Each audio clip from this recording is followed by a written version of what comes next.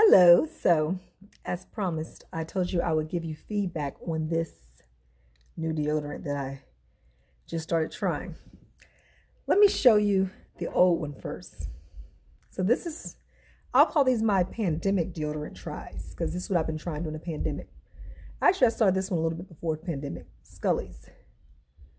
Okay? Now, Scully's, let me tell you a little bit about it.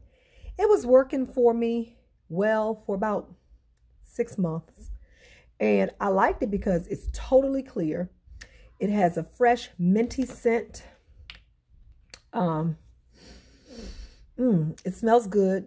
It's good for women and men. Anybody can use it. You know, it dries very quickly. And it was keeping me smelling minty fresh. Instead of a deodorant, they called it a Deodormint, as you can see. And it definitely smelled like a little mint. Felt great under the arms. And it was working fine. Then over the last couple of weeks, I noticed that I was reapplying it more than just once a day.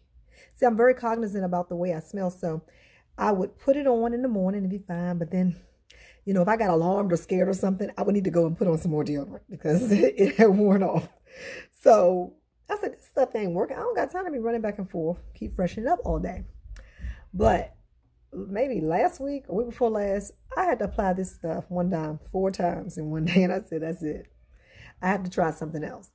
But in the meantime, my husband was using um Jeremiah, big the big husband, the big Jeremiah was using it.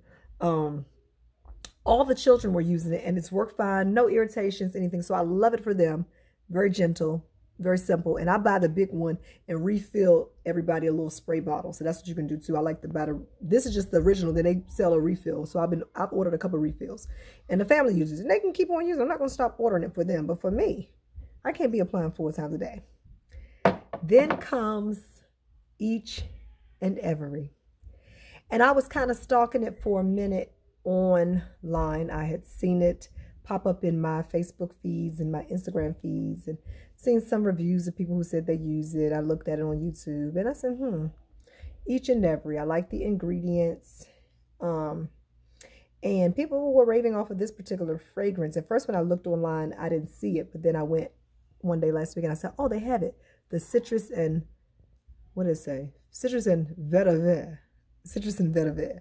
And so this stuff right here smelled great. Let me see. I'm to show it if I can. I can't really open it, but it smells great. Can't smell through there, but it smells great. And so I love it. It could actually be men can use this too. It's not all all ladies, and they even say it's a unisex deodorant. But I tried it the first day. I said, okay, let me try it because I don't got no high hopes for none of these natural deodorants. I just said, well, I'll prepare, always prepare to have to reapply. So I took it with me where I went. Didn't need to reapply. I said, okay, this wasn't a stressful day. But I've put it on for the last several days and forgot about myself. The only thing when I sniffed was a little bit of citrus odor, a good citrus, a fresh scent. And I loved it. And I've even been alarmed quickly a few times and I've not had to replace my deodorant. It actually keeps me a little dry, dry too. My daughter even tried it. She liked it, but I'm like, I have to buy her another one. But it comes in a lot of different fragrances and flavors. So I do anticipate buying a couple more of these each and every.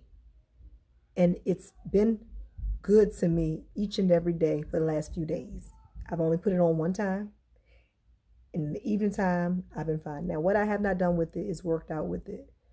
I need to work out in general, but I haven't worked out with it to see how soon it expires after that. But just on a regular day, a regular moving around, running around the house and all that, each and every has been great. I'd recommend it. Try it. It's aluminum free. It doesn't have baking powder in it or all that other junk. It's cruelty free and vegan.